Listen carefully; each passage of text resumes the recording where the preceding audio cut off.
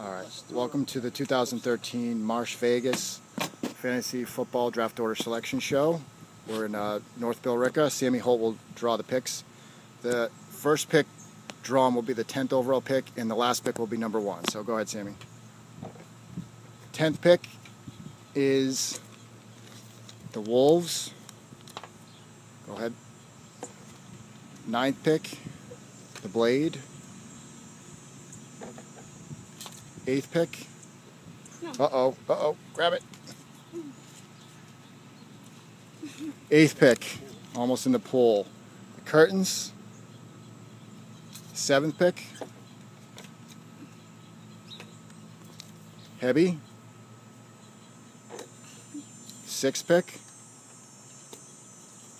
Nautical. It's Bobby Manning. Some of these names might be X-rated. Yeah. I think this is the fifth pick. Brebbia. Fourth pick, Tommy Murray. Red Peckers.